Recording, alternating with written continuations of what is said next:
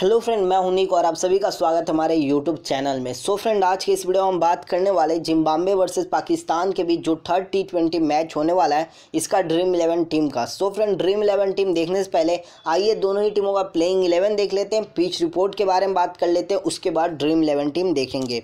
तो यहाँ पे हम लोग सबसे पहले बात करने वाले पाकिस्तान टीम के प्लेइंग इलेवन का। तो देखिए, आपको फ़कर जमान हंड्रेड परसेंट खेलते हुए दिखाई दे देंगे। पिछले दो मैच से उतना अच्छा कर तो नहीं पाए, लेकिन आपको ही पता है, फ़कर जमान एक बहुत बड़ा प्लेयर है और जिस मैच में टिक जाता है, उस मैच में बहुत रन बनाता है। सो इस वजह से फ़कर जमान को आप ज़रूर अपने टीम में रखिएगा। इस मैच में भी फ़कर जमान आपको तीन नंबर पर बैटिंग करते हुए दिखाई दे देंगे।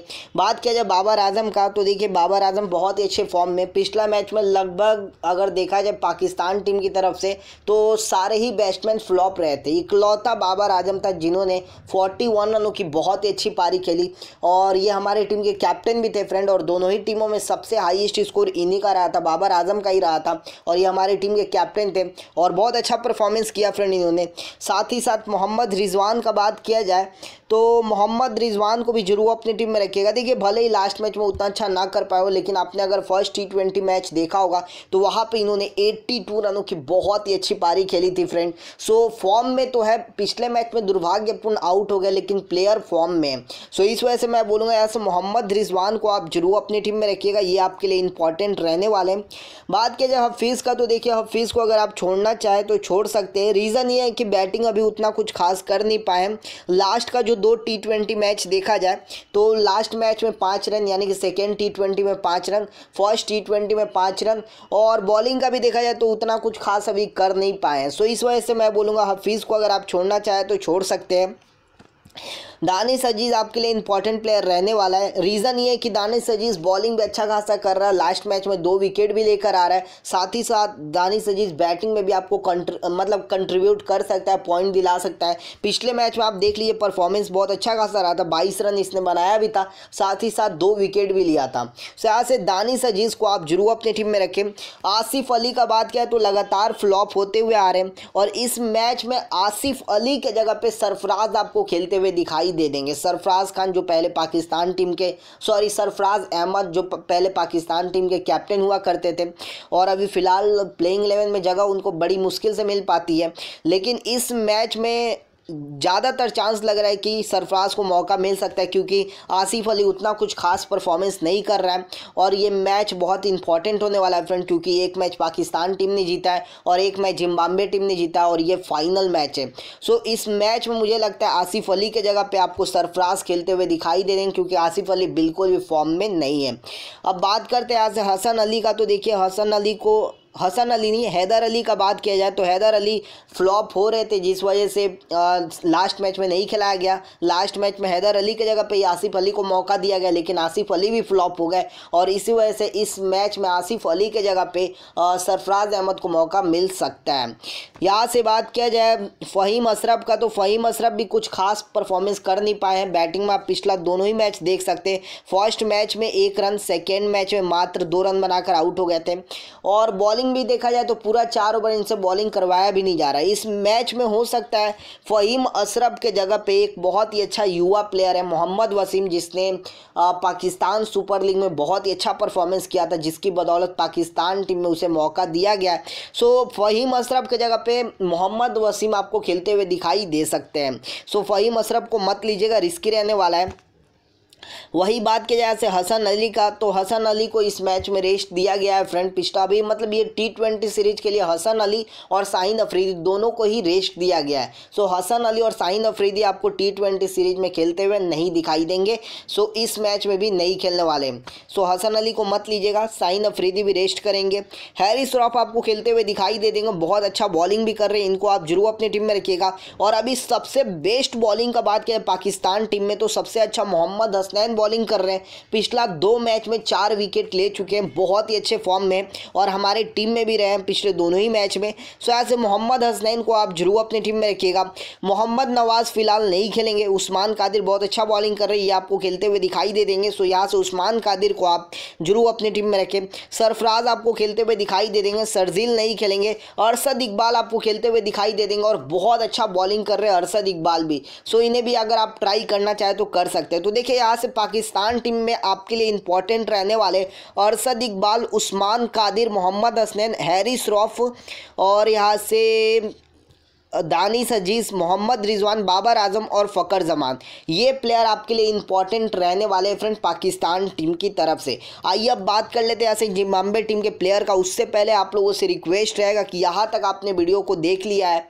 और अभी तक यार आपने लाइक और सब्सक्राइब नहीं किया है तो प्लीज़ लाइक और सब्सक्राइब ज़रूर कर दीजिए, क्योंकि आपके एक लाइक और एक सब्सक्राइब से फ्रेंड हमें बहुत ज़्यादा मोटिवेशन मिलता है और आपका लाइक और सब्सक्राइब करने हमारे मेहनत का फल होता है। सो प्लीज़ लाइक और सब्सक्राइब ज़रूर कर दीजिए। अगर अभी तक नहीं किए हैं तो। आइए अब बात कर लेते जिम्बाब्वे टीम के प्लेइंग इलेवन का। तो यहाँ से बात किया जाए कामून हुकवे का तो प्लेयर बहुत अच्छा है, अगर आप ट्राई करना चाहें तो कर सकते हैं। बैटिंग अच्छा खासा कर रहे पिछला दोनों ही मैच में अच्छा स्कोर किया हुआ इन्होंने। यहाँ पे देख सकते हैं फ़र्स्ट टी ट्वेंटी में इन्होंने ट्वेंटी नाइन रन बनाया था और सेकेंड टी ट्वेंटी में थर्टी फोर रन की अच्छी पारी खेल कर आ रहे सो यहाँ से अगर आप लेना चाहें तो ले सकते हैं।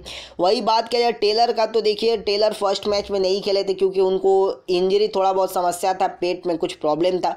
जिस वजह से फ़र्स्ट मैच में नहीं खेल पाए थे, लेकिन सेकेंड मैच में इनको मौका दिया गया, लेकिन वहाँ पर फ्लॉप रहे लेकिन आपको ही पता है, टेलर कितने बड़े प्लेयर है। ब्रेंडन टेलर बहुत ही ज़बरदस्त खेलते हैं फ्रेंड और अभी इस वक्त देखा जाए तो जिम्बाब्वे टीम के सबसे सीनियर प्लेयर और सबसे बेस्ट प्लेयर है। सो यहाँ से टेलर को आप ज़रूर अपनी टीम में रखिएगा। मदेवेरे का बात किया है तो मदेवेरे देखिए बैटिंग करने के साथ साथ कुछ ओवर बॉलिंग भी कर सकते हैं और विकेट भी दिला सकते जैसा कि आपने फ़र्स्ट टी मैच में देखा ही होगा। फ़र्स्ट टी मैच में मदेवेरे ने दो विकेट भी निकाला था फ्रेंड्स तो यहाँ से मदेवेरे को अगर आप लेना चाहें तो ले सकते हैं। मारू मानी को छोड़ दीजिएगा। क्रेग इरविन नहीं खेलने वाले इस मैच में। बात किया जाए मूसा कंडा तो मे भी आपको खेलते हुए दिखाई दे देंगे लेकिन कुछ खास प्लेयर ने इनको छोड़ दीजिएगा। सीन विलियम्स फ़िलहाल इंजर्ड चल रहा और इस मैच में भी नहीं खेलेंगे सो सीन विलियम्स को मत लीजिएगा।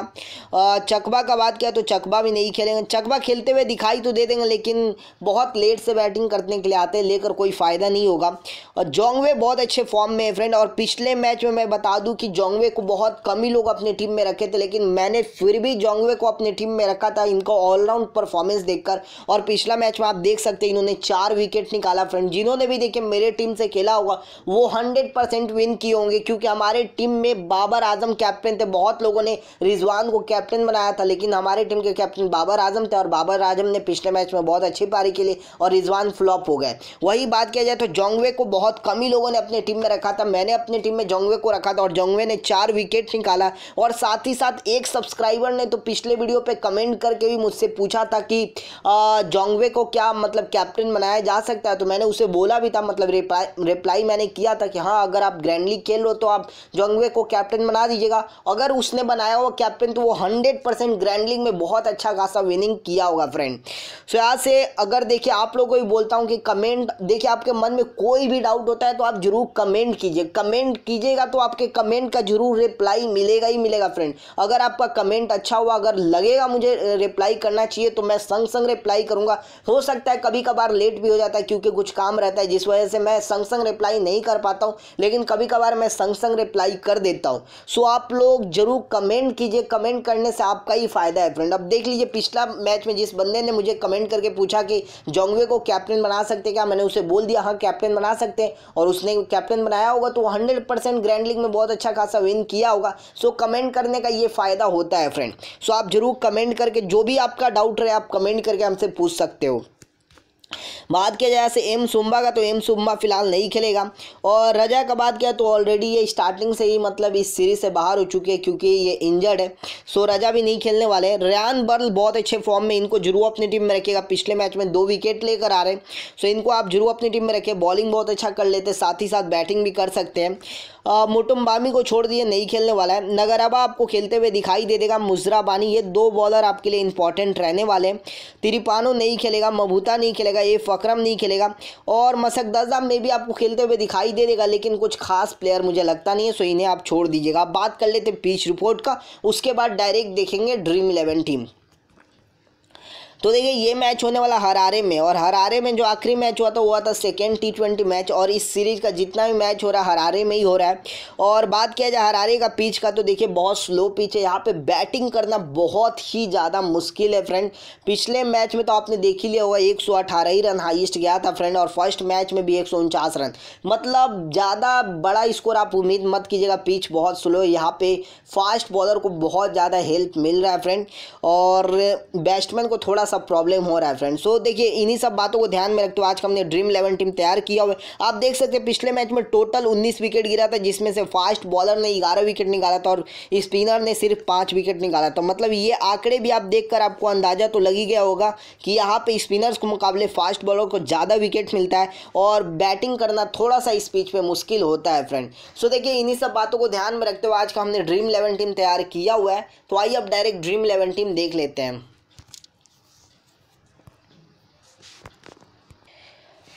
तो आइए यहाँ पे सबसे पहले बात करते विकेट कीपर सेक्शन की। तो यहाँ पे विकेट कीपर में मोहम्मद रिजवान और टेलर आपके लिए बहुत ही इंपॉर्टेंट रहने वाले हैं। इन दोनों को ज़रूर अपनी टीम में रखिएगा। और यहाँ से चकबा को छोड़ दीजिए बहुत लेट से बैटिंग करने के लिए आते हैं। और सरफराज का भी बात किया तो देखिए, अभी भी कन्फर्म नहीं है कि खेलेंगे कि नहीं खेलेंगे। मुझे लगता है कि आसिफ के जगह पर सरफराज को खेलना चाहिए, क्योंकि आसिफ बिल्कुल भी फॉर्म में नहीं है। अब बात करते हैं यहाँ से बैटिंग का। तो बैटिंग में बाबर आज़म और फ़कर जमान को ज़रूर अपनी टीम में रखिएगा। ये दो प्लेयर आपके लिए इंपॉर्टेंट रहने आने वाले हैं। सरजील खान नहीं खेलेंगे। कामुन हुकवे आपको खेलते हुए दिखाई दे देगा। आप चाहे तो ब्रैंडन टेलर के जगह पे कामुन हुकवे को भी ले सकती है। ये भी बहुत अच्छा प्लेयर बैटिंग अच्छा खासा कर लेता है। हैदर अली को छोड़ दीजिएगा, नहीं खेलने वाले मध्यवेरे बहुत अच्छे फॉर्म में बैटिंग बॉलिंग दोनों कर सकते हैं। सो मध्यवेरे को ज़रूर अपनी टीम में रखिएगा। आसिफ अली के जगह पर सरफराज खेलेगा। और मुसाकंडा नहीं खेलेगा। दानिश अज़ीज़ बहुत अच्छा प्लेयर है। इसे आप ज़रूर अपनी टीम में रखिएगा। बैटिंग बॉलिंग दोनों ही अच्छा खासा कर सकता है। मारूमानी को मत लीजिएगा। नहीं खेलने वाला। बात बात करते हैं ऑलराउंडर में। तो ऑलराउंडर में हफीज़ को आप छोड़ सकते हैं, क्योंकि अभी बिल्कुल भी फॉर्म में नहीं चल रहा हफीज़। बैटिंग बहुत ही बेकार रहा है, साथ ही साथ उतना ज़्यादा बॉलिंग भी नहीं कर पा रहे। सो यहाँ से हफीज़ को आप छोड़ सकते हैं। सिन विलियम्स इंजर्ड है। फ़हीम अशरफ बिल्कुल भी फॉर्म में नहीं है। फ़हीम अशरफ की जगह पर इस मैच में मोहम्मद वसीम को मौका मिल सकता है फ्रेंड सो फ़हीम अशरफ को छोड़ दीजिए। यहाँ से बात करें रयान बर्ल का तो बहुत ही अच्छे फॉर्म में लास्ट मैच में बहुत कमाल का बॉलिंग करके आ रहा है। सो यहाँ से रयान बर्ल को ज़रूर अपनी टीम में रखिए। बैटिंग भी अच्छा खासा कर लेता है। नवाज़ नहीं खेलेगा। जोंगवे बहुत अच्छे फॉर्म में, जोंगवे को ज़रूर अपनी टीम में रखे पिछले मैच का स्टार प्लेयर है। और यहाँ से वसीम का बात किया तो मे भी आपको फ़हीम अशरफ के जगह पर खेलते हुए दिखाई दे सकता है। बात करते हैं यहाँ से बॉलिंग की। तो बॉलिंग में देखिए, तिरपानो नहीं खेलने वाला है। हसन अली को रेस्ट दिया गया, साइन अफरीदी को रेस्ट दिया गया। मसक दजदा कुछ खास बॉलर है नहीं सो इनको छोड़ सकते हैं। नगर, अब आप प्लेयर अच्छा अगर ट्राई करना चाहे तो कर सकते हैं। उस्मान कादिर यहाँ से इंपॉर्टेंट रहने वाला है। मुजराबानी को ट्राई करना चाहे तो कर सकते हैं। मोहम्मद हसनैन और हैरिस रॉप। यहाँ से हमने तीन बॉलर को रखा हुआ उस्मान कादिर, मोहम्मद हसनैन और हैरिस रॉप को। इसके अलावा यहाँ पे मुझे कुछ खास प्लेयर लगे नहीं। अरसद इकबाल को देखिए, अगर आप लेना चाहें तो ले सकते हैं। प्लेयर बहुत ही ज़बरदस्त बॉलिंग अच्छा खासा कर लेता है। और इसके अलावा कुछ खास प्लेयर नहीं है। अब बात कर लेते कैप्टन और वाइस कैप्टन की।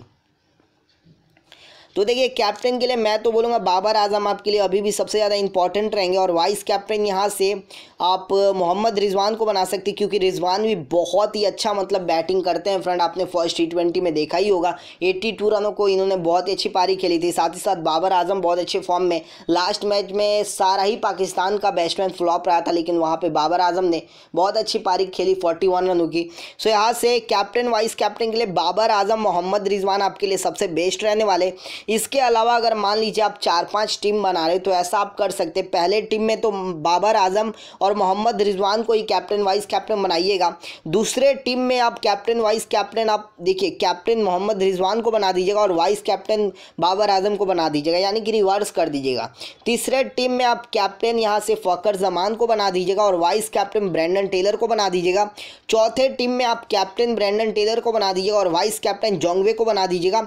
और जो चौथा टीम बनाइएगा, वहाँ पे आप जोंगवे को कैप्टन बना दीजिएगा और वाइस कैप्टन यहाँ से मोहम्मद हसनैन को बना सकते हैं। मोहम्मद हसनैन भी बहुत ही अच्छे फॉर्म में मतलब इस तरीका से थोड़ा बहुत आप चेंजेस करके भी मतलब आप चार पाँच टीम बना सकते हो। जैसे कि यहाँ पे देखिए बॉलर में भी थोड़ा बहुत चेंज कर सकते हो। जैसे कि यहाँ पे अगर हमने उस्मान कादिर को रखा हुआ है तो अगर आप सेकेंड टीम बना रहे तो वहाँ पर आप अरसद इकबाल को अपने टीम में ले सकते हो बॉलर के रूप में। साथ ही साथ यहाँ पर अगर हमने टेलर को रखा हुआ है तो सेकेंड टीम में आप इसको रख सकते हो। क्या नाम है उसका? Um, कामू नोकवे जो है ओपनिंग बैट्समैन है जिम्बाब्वे का, उसको आप रख सकते हो। मतलब एक दो चेंजेस करके आप चार पाँच टीम भी बना सकते हो फ्रेंड सो देखिए, यही हमारी फाइनल ड्रीम इलेवन टीम रहेगी। बाई चांस अगर मैच से पहले इस टीम में मुझे कुछ चेंजेस करना पड़े तो मैं जो भी चेंजेस करूँगा, आप लोगों को टेलीग्राम पे बता दूँगा। सो अगर अभी तक आप मेरे टेलीग्राम पे ज्वाइन नहीं हुए तो ज्वाइन हो सकते हैं। इस वीडियो के डिस्क्रिप्शन में मैंने अपने टेलीग्राम का लिंक दिया हुआ है। लिंक पे क्लिक करके आपको टेलीग्राम पे ज्वाइन हो जाना है। लिंक पे क्लिक करने के बाद भी आप टेलीग्राम पे ज्वाइन नहीं हो पा रहे, या फिर कोई प्रॉब्लम हो रहा है तो आप मुझे इंस्टाग्राम पे मैसेज कर सकते हो। वहाँ पे मैं आपको बता दूँगा कि आप कैसे टेलीग्राम पे ज्वाइन हो सकते हो। सो इस वीडियो के डिस्क्रिप्शन में मैंने अपने इंस्टाग्राम का लिंक भी दे रखा है। वहाँ पर हम लोग पर्सनली भी बात कर सकते हैं। अगर किसी को मुझसे पर्सनली बात करना है तो वो मुझसे पर्सनली भी बात कर सकता है। मैं वीडियो के डिस्क्रिप्शन में इंस्टाग्राम का लिंक दे दिया इंस्टाग्राम पर अगर आप मैसेज करोगे तो वहाँ पर भी आपको रिप्लाई मिलेगा फ्रेंड साथ ही साथ, अगर इस वीडियो से रिलेटेड आपको कोई भी डाउट हो, कोई भी क्वेश्चन हो, आपके मन में तो आप ज़रूर कमेंट कर दीजिएगा इस वीडियो के नीचे आपके कमेंट का, ज़रूर रिप्लाई करेंगे और साथ ही साथ आप ये भी कमेंट करके बताइए कि आपको ये वीडियो कैसा लगा है। जिसका कमेंट भी देखिए, मुझे सबसे बेस्ट लगेगा, उसका कमेंट को हम लाइक भी देंगे हर्ट भी देंगे और साथ ही साथ पिन भी करने वाले और रिप्लाई भी देंगे। सो आप लोग कमेंट ज़रूर कीजिए, इस वीडियो को यहीं पे एंड करते हैं। तब तक के लिए जय हिंद, वंदे मातरम।